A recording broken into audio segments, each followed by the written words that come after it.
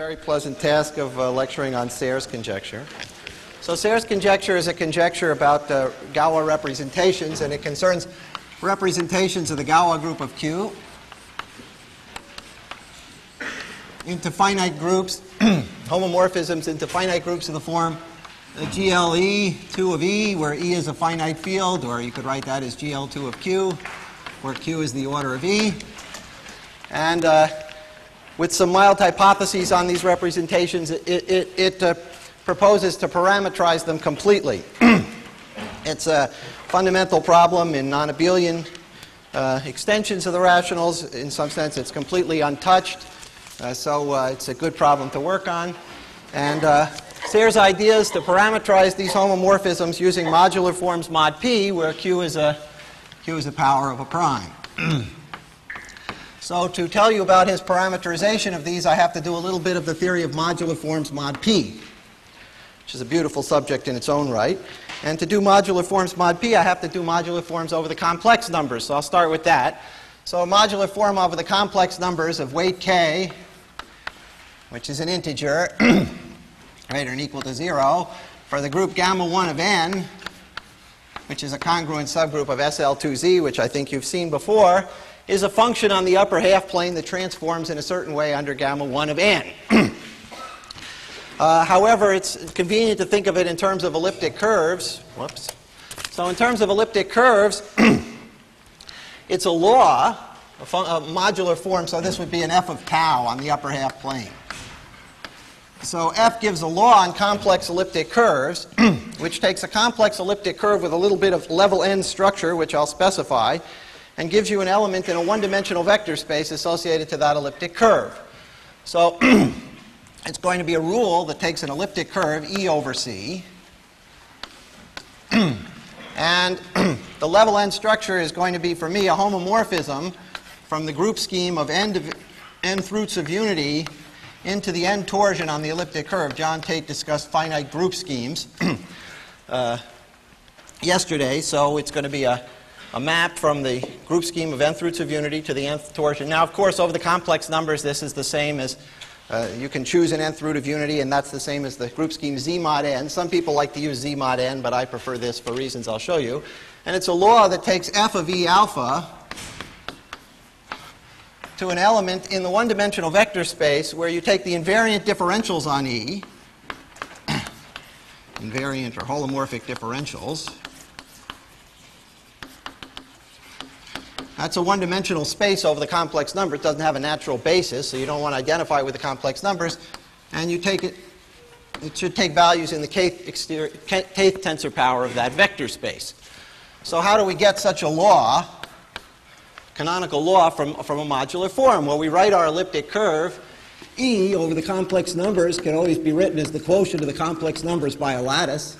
So I'll take my lattice to be 2 pi i times z plus z tau. Namely, by scaling, I can make one of the vectors in the lattice 2 pi i z. Sorry, I have a little trouble with this board. There we go. and the reason I do this is that if you use the exponential map, you can also write this in, in Tate's form of c star modulo q to the z, where q is e to the 2 pi i tau. The exponential map kills half of the lattice, this 2 pi i z part. And if you do that, you see that this elliptic curve, if you write it in this way, has a canonical level n structure because inside of C star you have the nth roots of unity. So the alpha will be the map that's induced by putting nth roots of unity into C star and then mapping to C star mod q to the z. So that's our, once we've written the elliptic curve this way, it has a level n structure. and it also, if you write it in this way, has a basis for the differentials of the first kind, omega e, namely just given by the dz, uh, where, where, where z is the complex parameter on the tangent space. So uh, dz to the k is a basis for omega e tensor to the k. And this modular form, which is a function on the upper half plane, you view it as a function of that variable, and you take the law that takes f of e alpha to this complex number, f of tau times zd tensor to the k, and that's an element in this space. and you check that that does not depend on our particular representation of E. Namely, you can scale the lattice and you can change the basis with, a, with an A tau plus B or a C tau plus D. And the fact that this transforms like a modular form of, of weight K for uh, gamma 1 of n means that this is a well-defined element in the uh, kth tensor power. So this is a way of rethinking modular forms in terms of these uh, laws. And uh, Deligne had the wonderful idea that said, uh, well, if you want to do holomorphic modular forms, it's not enough to have a holomorphic function on the upper half plane, namely a function on all elliptic curves, but uh, you need some behavior of that function as you tend towards the boundary of the upper half plane. You don't want it to, you want it to be holomorphic at the cusps also. And uh, Deligne's interpretation of that was to study uh, such laws not just on elliptic curves, but on so-called generalized elliptic curves. So uh, Deligne you extend for, for a holomorphic modular form. This would be a meromorphic one. You want the law to extend to generalized curves, generalized, generalized E. So those are curves over C algebras that perhaps have multiplicative reduction at some places. Uh, curves like Tate's elliptic curve. And uh, if, it general, if it extends to generalized elliptic curves, then you have a holomorphic modular form. You have this you have notion of a level n structure in a generalized elliptic curve. It's a little bit complicated. You also have the notion of this invariant differential space, so you can talk about the law. Now, no, this is of weight k. So. Weight 2. Okay? k is equal to 2 as the differentials. This is not, this is not the differentials on the modular curve. This is, there, there, there's, a, there's, a, there's a map uh, called the Kodaira-Spencer map, which takes such a law, which is a section of, uh, which gives elements in WE tensor 2, takes it to, holomor- to, takes it to differentials on the modular curve, which if you have a cusp form gives you a holomorphic differential. Okay?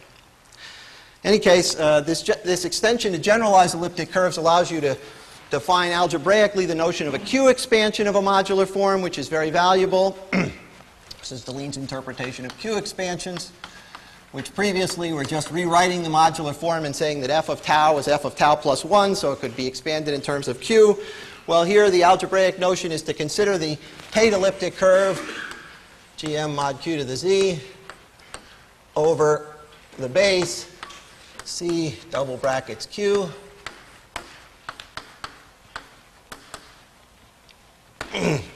and uh, that has a canonical uh, mu n in it, given by the inclusion of uh, mu n in GM. That's the reason why I prefer using a mu n as opposed to a z mod n for the level structure, because GM canonically contains mu n and not z mod n. And uh, so that has a natural level structure. And it's a generalized elliptic curve, namely at q equals 0, it has multiplicative reduction. And uh, it not only does it have a canonical level n structure, but it has a natural basis for the invariant differentials. Namely, you take the basis for invariant differentials on GM, so that's called dt over t. And if you take that to the tensor k power, it's a basis of the invariant differentials on the Tate curve. And consequently, if we have a modular form, we can apply it to the Tate curve over this base, and it gives us an element of this over this ring and so we can write f of e alpha as an element of this ring, so that would be its Q expansion, a n q to the n, times dt over t tensor k. And this expansion of f is called the Q expansion at the cusp infinity. There are other cusps of the modular curve gamma 1 of n, and you have to use different models of the Tate curve, but this is the Q expansion at infinity. Yes? Sure, sure, sure. Be delighted. So this is so these are complex numbers, and uh, and if uh, so, the value on the, the the value on the Tate curve at the point q equals zero would be the constant coefficient a zero.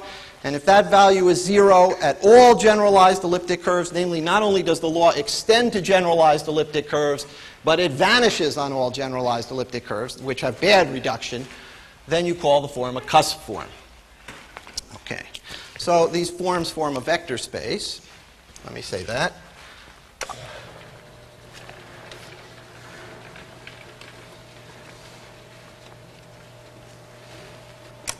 So we let MK be the space of, whoops, too much. Let's come down, come down, come down. Stop. Sorry, I'm just learning. Bonk. Good. MK, we let to be the vector space, complex vector space of holomorphic forms of weight k for gamma 1 of n. Now, that's just the abstract definition, uh, laws of this sort. But uh, as uh, Edixo, uh, sorry, my, I'm thinking, uh, as Jaap Top said to you, uh, you can sometimes identify this with a more familiar vector space. If your, if your level n is greater than 4, then it turns out that the problem of classifying elliptic curves with this cyclic type of subgroup, with this point of order n, turns out to be a rigid problem, has no automorphisms, even for generalized elliptic curves. And so there's a universal elliptic curve with this, or universal generalized elliptic curve, universal generalized E over the curve that's sometimes called x1 of n. And its invariant differentials, omega, give a line bundle on this curve, projective module of rank 1, and its kth tensor power also gives a line bundle on this curve. And so if you have a modular form of weight k on gamma 1 of n, and you apply it to this universal curve, what you get is a section of that line bundle over this curve. So you can identify mk is isomorphic to the sections over the universal curve of this line bundle. Maybe I'll call it omega e tensor k. And um, one can compute the degree of this line bundle because there's a comparison between omega tensor 2 that's the famous theorem, of, which is essentially the Kodaira-Spencer deformation theory, is isomorphic to the canonical bundle of the modular curve with poles at the cusps, the, the degenerations. That allows you to compute the degree of this bundle from the genus of this curve and the number of cusps. And you see that for all k greater than or equal to 2, the degree of uh, omega e tensor k is greater than or equal to 2g, I think minus 1 or plus 1. I don't know, plus or minus 1. In any case, you can compute the number of sections, the dimension of this space from the Riemann-Roch formula. The only mysterious weight, in some sense, is weight 1, where the line bundle has degree approximately g minus 1. It's close to being a theta characteristic. And there, the Riemann-Roch formula tells you almost nothing about the number of sections, and you don't know how large this space is. But in, in general, you can compute the dimension, and uh, so you get this finite dimensional vector space.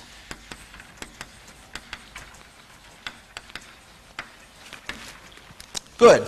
Now, uh, the Q expansion gives an injection, it turns out, of MK into the ring of power series in Q, and in fact gives a direct sum, gives an injection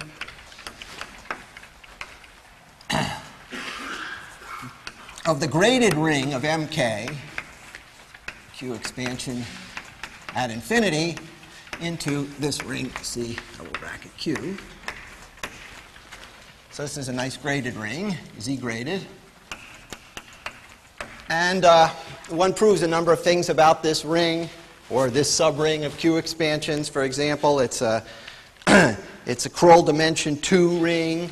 It's proj uh, when you have uh, this its proj is always de defines the uh, modular curve x1 of n. if, for example, if n is equal to 1, if I call this ring M maybe, or n equal 1, which is a famous case, uh, the ring M is, is generated over the complex numbers by a modular form of weight 4 called E4 and a modular form of weight 6. Polynomial ring in two variables. okay, now uh, an important fact about this complex vector space, which we're going to use when we look at modular forms mod p, is it has a number of canonical endomorphisms called the Hecke operators. And they can be defined using this, uh, this, this perspective of laws as follows. So if we have a prime L that does not divide n, let me define the Hecke operators for you. And then we'll get to modular forms mod p. So if I take a prime L that does not divide n, I have an endomorphism of mk which goes as follows. f slash TL. So that's going to be a new law on the, on the set of elliptic curves and level n structures. So I have to tell you what it assigns to E alpha. so this is defined as follows. You take 1 over L. That's no problem because we're over the complex numbers. The sum over the L plus 1 isogenies of degree L with source E. So that's a map phi from E to some curve E prime, another elliptic curve. So you divide out by the, the L plus 1 cyclic subgroups of order L on E. Now, since L is prime to N, this injection that we had from alpha N into E, if you compose it with this isogeny, it's still an injection because the kernel of this has order L and this has order N, which is prime to L. So on, uh, we get new elliptic curves and new level structures. Maybe we'll call those alpha prime. So we can certainly evaluate f at e prime and alpha prime. And where, what do we get? We get an element in the kth tensor power of the uh, invariant differentials on e prime. So this is in. And then you pull it back via the isogeny phi to get an element in the kth tensor power of the uh, invariant differentials on E, and that's exactly what you're supposed to assign to that. So this would be a definition of TL, and for L dividing N, there's an operator called UL, which has degree L, and you do exactly the same thing, except you only sum over the L isogenies with source E, such that the kernel does not intersect this alpha n, such that when you compose, you still get an injection of alpha n into E prime. So this is same, but assume kernel of phi intersect the image of alpha n is equal to 0. So that's a, something of degree uh, L instead of L plus 1. And finally, there are automorphisms of the space. So these give endomorphisms, linear endomorphisms. And finally, there's an automorphism of the space for every uh, class in Z mod n star. It's sometimes called diamond D, I don't know why. So this D is in Z mod n star, an invertible element. And that just changes the level structure, namely this applied to E alpha is defined to be f of E d alpha, where this just means multiply the map by d. That makes sense because this has this cyclic of order n. So that's an automorphism of the curve. And these endomorphisms of this space, you easily check all commute with each other. So they generate a commutative algebra of endomorphisms of this finite dimensional space. And over the complex numbers, in fact, you even have an inner product on this space called a Hermitian inner product called the Petersson inner product, for which uh, these endomorphisms are, uh, at least they're, they're normal endomorphisms. So uh, there's a theory of diagonalization, but I'm not going to talk about that. Now I want to talk about modular forms mod p. Let me see if I can get this board where I want it. Put this up here, take this down here. Oh, this is going to be tough. Stop that. Oops, a little higher. Stop it. Now, take this up. This is going to be hard, I can see. Oh well.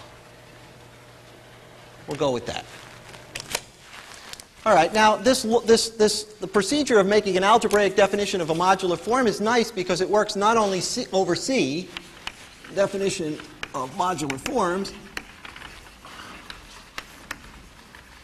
works whenever, in fact, over the ring Z where you invert n. Namely, it works whenever n is invertible. Whenever n is invertible. The problem with n not being invertible is that uh, you might have a problem that there are no embeddings of mu n into the n torsion of an elliptic curve. For example, if you have a supersingular elliptic curve, you cannot map mu p into the p division point. It's not just not, not a, no, no way of injecting it. However, if we assume n is invertible, then the n torsion on an elliptic curve is what's called an étale uh, group scheme, and it, you, can, you can embed mu n. And in particular, this definition works perfectly well over fields, over fields of characteristic p greater than 0, providing that p is prime to n, the level. So if n is equal to 1, it works for all primes p. Namely, you just study laws on elliptic curves over that field that, uh, that behave in this way. And uh, in terms of this sections of this vector bundle on the curve, maybe I should come down with that a little bit. Whoops, stop. Let's come down here, where this definition of mk is defined as the sections of a, a vector bundle. Uh, you just prove that the modular curve x1 of n can be in fact defined over fields of characteristic p where p does not divide n, and you just take the space of such sections. And that shows you that modular forms mod p are in some sense reductions of modular forms in characteristic 0, provided the weight is at least 2. Because the dimension of this space is somehow independent of the characteristic. It's given by the Riemann-Roch theorem just in terms of the genus of the curve. However, that's only in the case where the weight is large enough so the degree of the line bundle is large enough. In weight 1, you can have the bizarre phenomenon of having no modular forms in characteristic 0, but for a finite number of primes p, having some modular forms of weight 1 in characteristic p. That, that's just the phenomenon of line bundles on curves which, which have small degree. For all sufficiently large primes p, the number of sections will be the same as in characteristic 0. But one of the, one of the nice things about Serre's conjecture is that it, it explains the extra modular forms of weight 1 that appear in characteristic p. Okay. Now, another nice thing about modular forms in characteristic P is that there are a couple of canonical ones, which are not true over the complex numbers. For example, there's a very famous form that changes the whole aspects of the theory called the Hasse invariant. So we're now in a field of characteristic P. So there's a canonical modular form A, Hasse invariant. Somehow the only canonical modular form in, in, over complex numbers is the constant 1. But the Hasse invariant has, it has level n equal 1, so any level really, and it has weight k equal p minus 1. and I'll define it for you now. so it's going to be a law on elliptic curves, taking values in a certain power of the differentials. So we take our elliptic curve in characteristic P, it's, it's sitting there, and we choose a local parameter at the origin.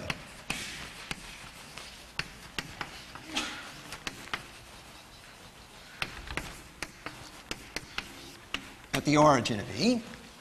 And then, as Joe Silverman no doubt told you, uh, we have the formal group associated to that parameter, and we can study multiplication by P in that formal group, and we write it out.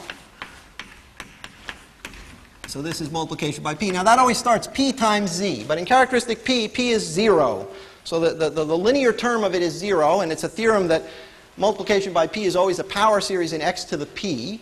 So uh, the first term is, is of the form a z to the p plus higher terms. Always looks like that in characteristic p. on the other hand, if we also choose our local parameter, this a depends on the choice of local parameter at, at, at the origin. On the other hand, the choice of a local parameter also gives us a basis. Maybe I'll write it dz, so we, well, no, that's bad notation. A basis for the invariant differentials that begins 1 plus dz. Namely, the, different, the invariant differentials form a one-dimensional space, and choosing a local parameter at the origin is the same as fixing a basis, or, or it gives a basis of that space that starts off with dz. And consequently, we define uh, f of e, we don't need any level structure because n is equal to 1, to be the element a times omega tensor p minus 1 in omega e tensor p minus 1. And you check that this is independent of z. So it depends only on the elliptic curve, and that's the Hasse invariant. Sorry, that's called A and it can vanish. In particular, it vanishes exactly on the set of what are called supersingular elliptic curves, where multiplication by p is an inseparable isogeny of degree p squared, and so this coefficient vanishes in the formal group. So vanishes on supersingular E. But what's even more amazing about it, somehow or another, is that when you calculate it on the Tate curve, which you can do, uh, you find that the formal group is so closely related to the multiplicative group that the Hasse invariant of the Tate curve, as a power, you know, it always gives some Fourier expansion, right? It turns out to be 1 times dt over t to the p minus 1. Namely, its q expansion is just identically 1. That's a bizarre thing because in characteristic 0 you can tell what a modular form is from its q expansion. The q expansion injects the whole ring of modular forms, so it doesn't confuse the constant modular form 1 with a modular form of weight p minus 1. In characteristic P, Q expansions inject each space mk, but they can confuse different values of k. And so here you have a modular form of weight k, p minus 1 having the same Q expansion as the constant modular form 1. And consequently, if you study the map of m, which is the direct sum of mk, into uh, the power series over z mod pz, let's work over the prime field, why not? Q, given by the Q expansion, it's not an injection. And it turns out that the kernel of the map is equal to the principal ideal. This is a theorem of Serre and Swinnerton Dyer. A minus 1 times m. Certainly that's in the kernel. A goes to the same thing as 1. and consequently, you get a beautiful quotient ring, the image of the modular forms in Q expansions. This is still a Krull algebra of dimension 2, just like it was in characteristic 0. But if you take its image in this ring, you get an algebra of dimension 1. Namely, it turns out to be the algebra of functions on an affine curve. So if we take the quotient, m tilde, which is m mod a minus 1m, that has dimension 1. and it can be identified with the affine coordinate ring it's no longer, sorry, it's no longer graded, of course, because we've divided by a non-homogeneous ideal. A has degree p minus 1 and 1 has degree 0. So it's no longer z graded, it's graded by z mod p minus 1z. And it turns out to be an affine coordinate ring. I'll say that now. Coordinate ring of the so-called Igusa curve which I'll write I1 of n. Maybe I'll minus the supersingular points, which turns out to be an étale cover in characteristic P of x1 of n minus the supersingular points, where the Galois group is z mod p star. and so this is a curve minus a certain number of points. I'll describe it to you in a moment. And this group acts on it. Consequently, the ring of affine functions, which is one-dimensional algebra over Z mod P, has an action of this group and is graded by the different powers of the Teichmuller character. And the uh, Igusa curve can be described in a lot of ways as a moduli problem. It only exists in characteristic P. It's a new phenomenon, just like this Hasse invariant only exists in characteristic P. And uh, the, the neatest way to describe it, people like to say, well, it's a Kummer covering of this curve because we're in characteristic P, so we have P minus first roots of unity, so any covering should be taken by a P minus first root of something. And people like to say, well, you get it as the P minus first root of the Hasse invariant. See, the Hasse invariant is non-zero on x1 minus the supersingular points. It only vanishes on the supersingular. But the Hasse invariant isn't a function on this curve. It's a section of a line bundle.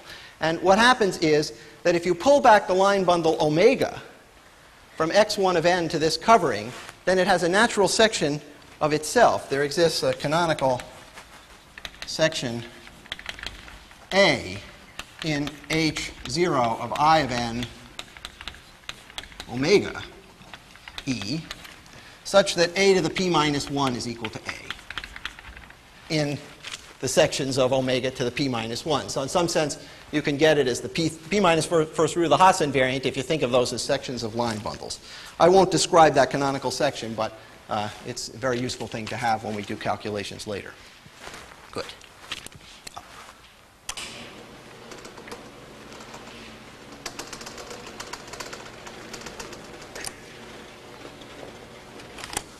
Down.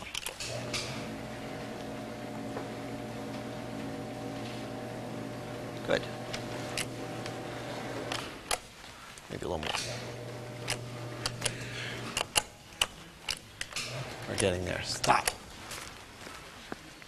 Okay. And one more thing I have to tell you about modular forms mod p, and then I can state the main theorem about constructing Galois representations. And that's there's a nice derivation of the modular forms mod p that again does not exist in characteristic zero. Was studied by Swinnerton, Dyer, and Serre.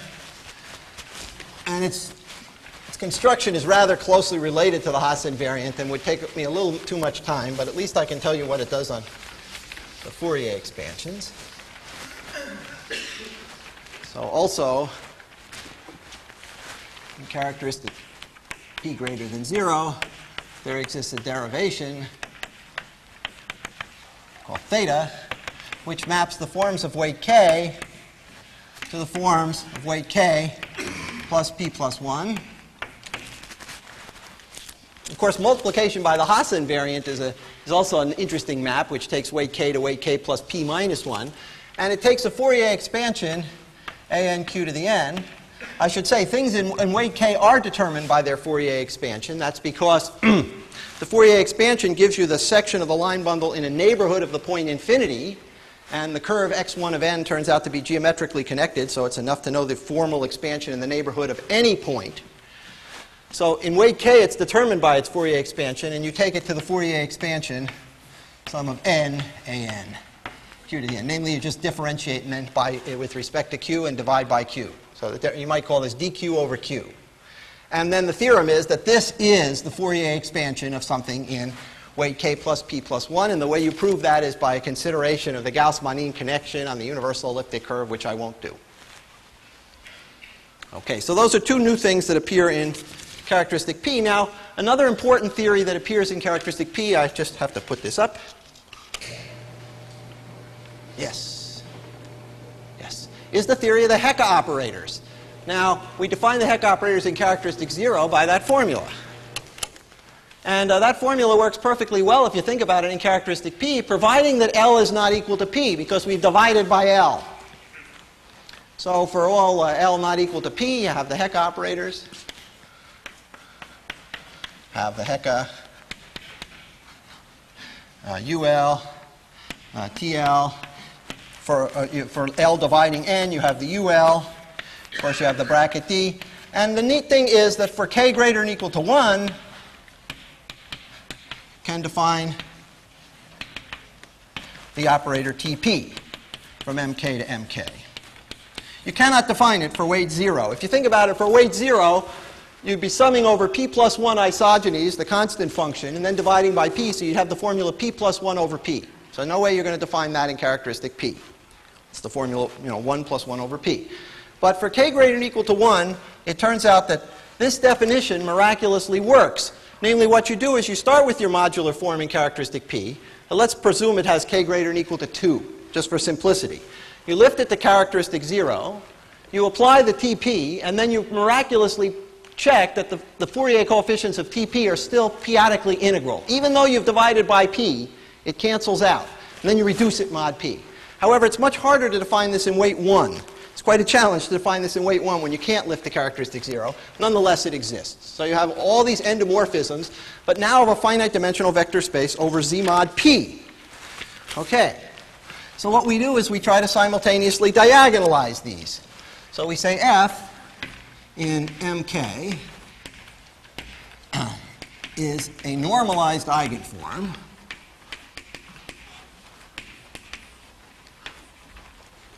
if it's an eigenform for all of these operators, namely PL, F slash TL is AL times F for some. Uh, this is an eigenform, sorry, with coefficients in the finite field E over Z mod P. If it's an eigenform for TLs, an eigenform for the ULs, and it's an eigenform for the bracket operators, which, which means it's multiplied by a character of this group. That character I'll call epsilon, where epsilon is a homomorphism from Z mod n star into E star. And the ALs are in E. And we normalize it by requiring that its Fourier expansion have coefficient of q equal to 1. It turns out that once you have an eigenform for all the operators, that uh, you, it's possible to normalize so that f is equal to the summation of a n q to the n for n greater than or equal to 0. It's possible to have a constant coefficient.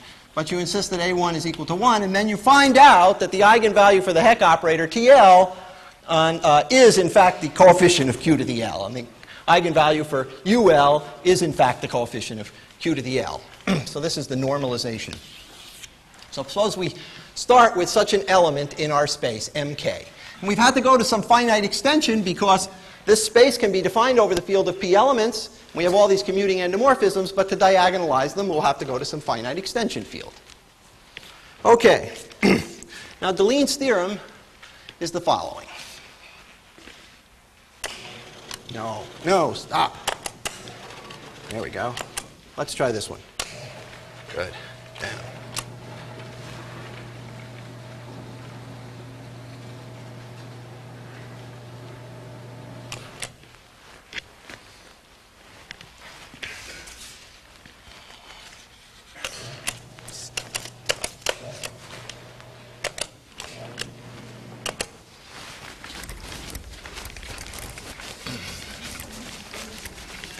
TP is included in the TLs. Once we've defined it, and we're always going to assume now that the weight is at least 1, because for weight 0, it's not such an interesting subject, the Galois representation.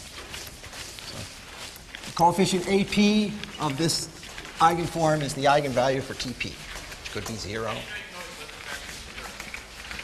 That's, this, that's the argument that the modular forms are the sections of a vector bundle on the curve, and when k is greater than or equal to 2, the degree of the vector bundle is at least 2g plus 1. Consequently, the, the, the, dimension of the space of sections is the same, and a general theorem of, of lifting sections tells you you can lift any section to a. So if, if, you, if you want to work with the original definition of modular forms mod p, which they are proposed, which just is reduction of q expansions from integral q expansions in characteristic 0, that works perfectly well for all weights k greater than or equal to 2.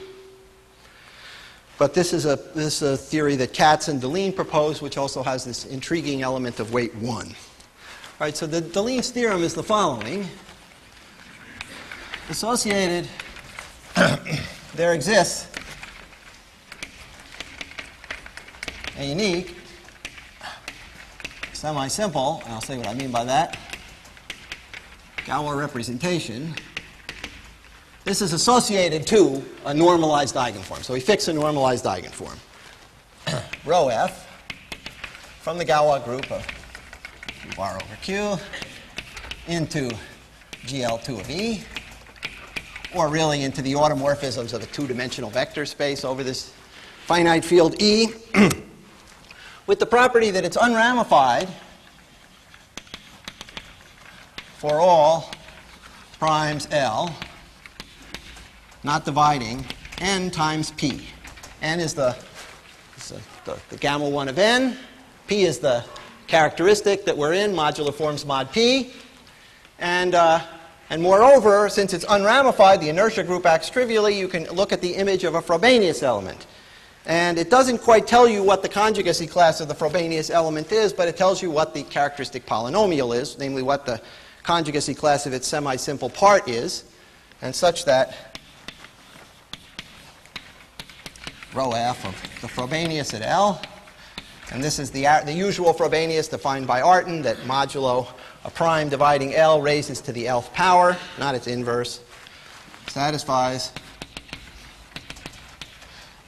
has characteristic polynomial, sorry,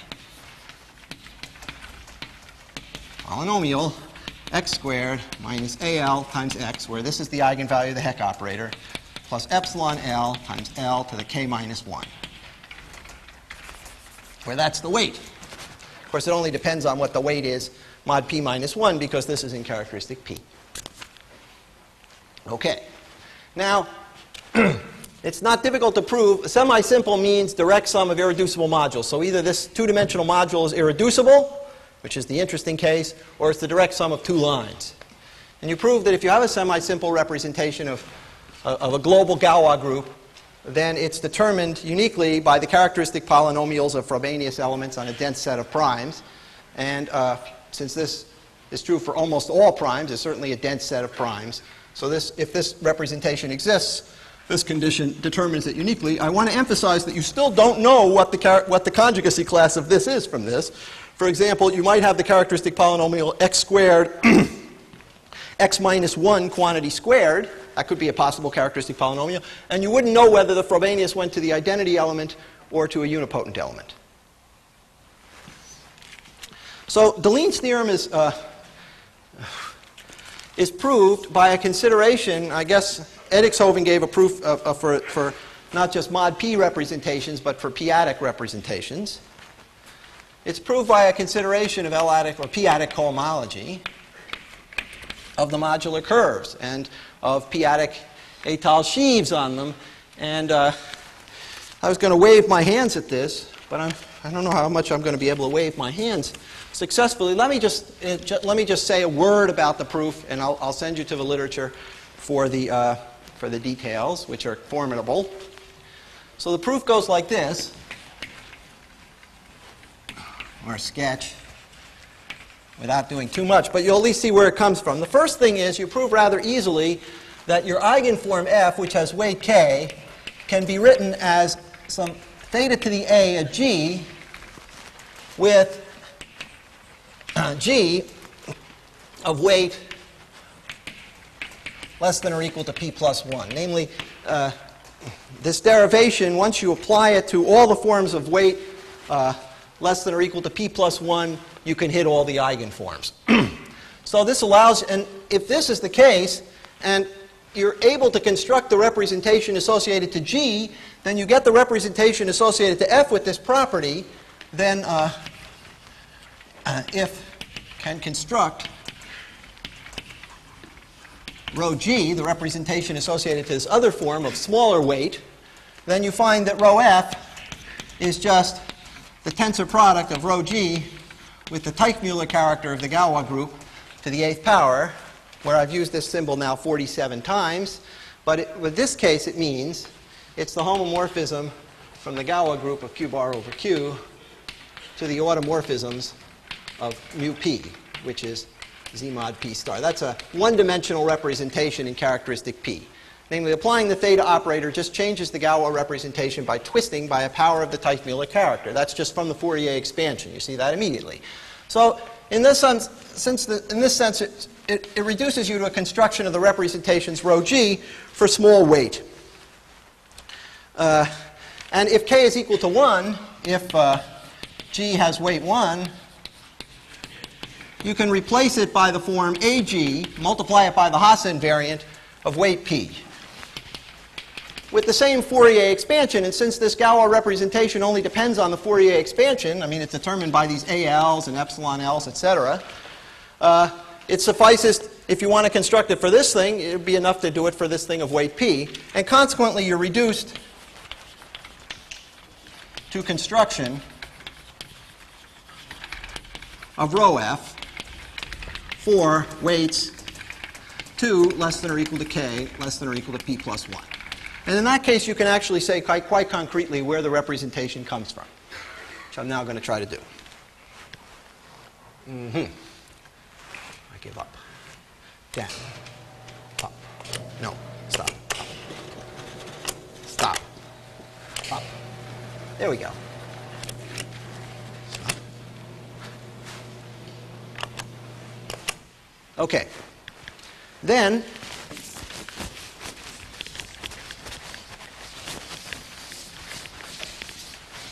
It turns out that for weight for k equal 2, you use the Eichler-Shimura relations that Jaap talked about, which I won't have time to do, to actually construct rho f inside the p torsion of the modular curve j1 of n over q bar. If you take, sorry, j1 of n is the Jacobian of the curve x1 of n, classifies its unramified covers, if you take its, it's an abelian variety, you take its p torsion, that's not necessarily defined over Q, it's defined over Q bar. This gives a representation of the Galois group over Q on a large Z mod P vector space, and you find that your desired representation occurs as a submodule of that once you tensor with E. And for uh, 3 less than or equal to k less than or equal to p plus 1, a trick of Serre's allows you to construct rho f inside the p torsion not of j1 of n, but of j1 of n times p. n is prime to p, always, remember. So this is, this is just 1 power of p dividing the level. Bar. And this is a very delicate procedure. It requires lifting to characteristic zero, etc. And I'll just refer you to look at some of the papers I use for a reference to do it because I have now about 10 minutes left and I actually want to say what Serre's conjecture was. Okay. Now, here's Serre's conjecture. It's the other way. Here's this magnificent procedure using the Jacobians of modular curves to construct Galois representations. And uh, we know something about those representations, how the unramified primes act. We'll see a little bit more that we know how the inertia groups act at the ramified primes. And Serre's conjecture says that this is the only way we know how to produce these Galois representations. Perhaps this is all of them. So Serre's conjecture is as follows. You start with a representation, and I'm going to assume it's absolutely irreducible. So I won't do the I won't do the case uh, of direct sum of two lines. Galois representation. Rho from the Galois group of Q to GL2E, where E is a finite extension of the field of P elements. So the most interesting case, of course, is where this map is surjective, where you're just really finding a number field, which is a Galois extension of the rational numbers, where the Galois group is isomorphic to GL2 of E. So these are, in some sense, the most simple non-abelian extensions you could find of the rational numbers, because GL2 contains the group SL2, and those are the first examples of uh, non-abelian simple groups. So we assume it's absolutely irreducible. We assume one other thing, namely, for what is the action of complex conjugation. So inside of this group, there's a canonical conjugacy class of order 2, complex conjugation, and that's mapped to a conjugacy class of order 2 in GL2 of E. Now, at least when the characteristic is not 2, there are three different conjugacy classes of order 2 in GL2 of E. You could have the identity matrix, which has order 1. You could have minus the identity matrix, or you could have a matrix which has one plus eigenvalue and one minus eigenvalue. You assume that you go to the third. So you assume, assume when p is not equal to 2, that rho of complex conjugation, which I'll denote by Frobenius infinity, is conjugate to a matrix that looks like a plus 1 and a minus 1. So it has 1 plus 1 eigenvalue, 1 minus 1. So it's not the identity and it's not minus the identity. When p is equal to 2, you assume nothing. So in characteristic 2, there are a lot of different elements of order 2. You can take Frobenius to any of them. It's amazing. Okay. Now, if you have such a representation, you get its determinant, which is a one-dimensional representation. And we know a lot about one-dimensional representations of the Galois group of Q from the work of Dirichlet and class field theory, and you can write that, you can write this as a character epsilon, where the conductor is prime to p, conductor prime to p, times a power of the Teichmuller character to the k minus first power, uh, where this has got conductor p. It, it, can't be wild at p. This is the point. You pull off the tame part of the, the determinant at p, that's a power of the Teichmuller character, you're left with something unramified at p. And k here is only determined mod p minus 1. So starting with such a representation, you get a character of order prime to p, with values in E and the power of the Teichmuller character. And the conjecture is that such representations come from modular forms mod p. So now let me state that carefully.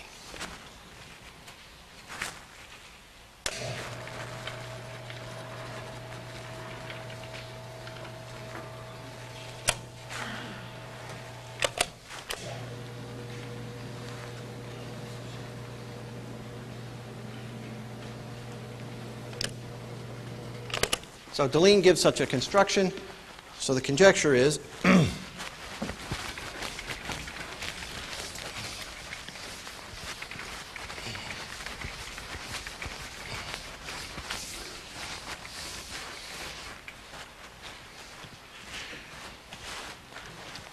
then there exists a normalized eigenform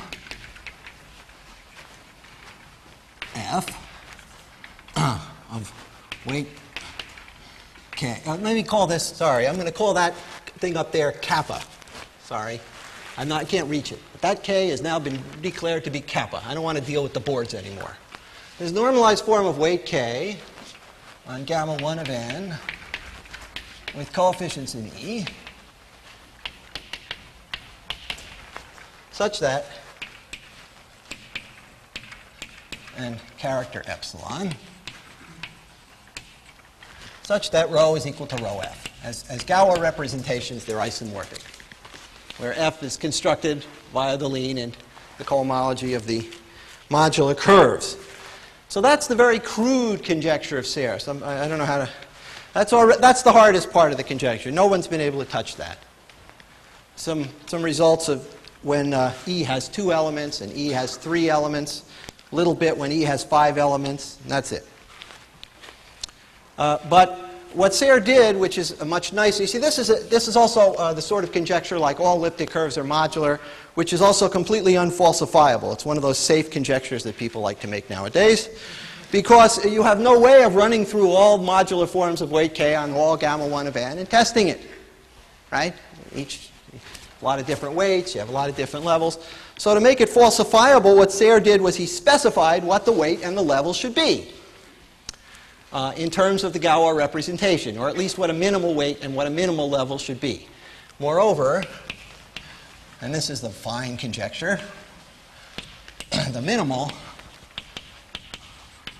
level, n, is the Artin conductor, and I'll say what that is, of rho, away from P. So you, it's, it's determined by the restriction of rho to the inertia groups at all primes not equal to p. the, uh, and the minimal weight satisfies, first of all, k congruent to this kappa, that's the kappa up there, mod p minus 1. It better because in Deligne's case, you'll see the determinant is epsilon. So the determinant of rho f, I should have said that, is epsilon times omega to the k minus 1. So k better be congruent to kappa mod p minus 1. It also lies in the interval between k 1 and p squared minus 1. That doesn't determine it, of course. And it's determined by the, the restriction of the representation to a ramification to inertia group at p. Determined by restriction of rho to an inertia group at P. Which, and I'll give you the recipe or something of it. See how much time I have. Almost no time. Okay, so what I'll do is when I start off my next lecture, tomorrow on Ribet's theorem, I'll tell you what the minimal level is, what the Artin conductor is, and I'll give you the recipe for, for working out the weight. So this is rather amazing. You, you start with just a, a, a, a, raw representation with this condition at infinity. You define an integer n greater than equal to 1 from the inertia group's action of inertia at all primes L not equal to P. You define a weight from the action of the inertia group at P. These are all local Galois representations. And then that puts you in a finite dimensional vector space, the modular forms of weight k for gamma 1 of n. And the claim is that there's an eigenform in that space whose eigenvalues tell you what the characteristic polynomials of are for Frobenius elements at unramified primes. So pulling back enormously from this, this detailed conjecture, what you're doing is you're starting off with a Galois representation. You're using its local properties, in particular its local ramification properties, to define a finite dimensional vector space over the field of p elements namely mk on gamma 1 of n, with a lot of commuting endomorphisms, namely the Hecke operators. And from the eigenvalues of those commuting endomorphisms, you're predicting what are the characteristic polynomials of Frobenius elements at unramified primes. That's the structure of Serre's conjecture. And in that structure, I think it probably can be generalized to many more groups beyond uh, GL2. Uh, but uh, this is a much richer structure than that because there's a lot of structure involved in the space of modular forms mod p. Now, let me just say what is known about this because that'll lead into my next talk. Uh, as I say, the, this part of the statement, the crude statement, the existence of an eigenform, as I say, nothing is known. So there it's known if, if the cardinality of E is equal to 2 or 3, and a little bit is known for 5. But, you know, once you get to fields of 7 or even the field of 9 elements, nothing is known. So that, that's the main conjecture, the existence of some modular form somewhere in the world which gives this Galois representation. However, if you assume that you have a modular form somewhere, so you start off with a representation of Deligne's type constructed from some modular form of level n and k, and you go compute the Serre invariance depending on the ramification of the minimal level and the minimal weight, you might get a different minimal level or minimal weight than what you started off with. So Serre's conjecture says there has to be another modular form of that weight and level that gives this representation. So that would be the, like the refined conjecture. And a lot of progress has been made on that. The main contribution I'll talk about uh, next time uh, is due to Ribet, and there are other, there's other work of Carayol and Edixhoven. Uh, many people have worked on showing that if something is modular somewhere, then it's modular of the correct level and weight. And I think the status now is, although I don't really understand this too well, that if you assume that the field E uh, has odd cardinality, so you're not in characteristic 2, and you prove that the thing is modular somewhere, then it follows from all the work of these people that it's modular of Serre's minimal level and minimal weight. So, but th this is still the, the huge mystery that uh, sort of looms in front of us. So I'm sorry I have to cover so much so quickly. I, I, said to the organizers you could do a conference on this. You could also equally well do a conference on Ribet's theorem, which will be my next talk, which will probably be even more of a Zoom. But, uh, so I hope something has been comprehensible. Thanks.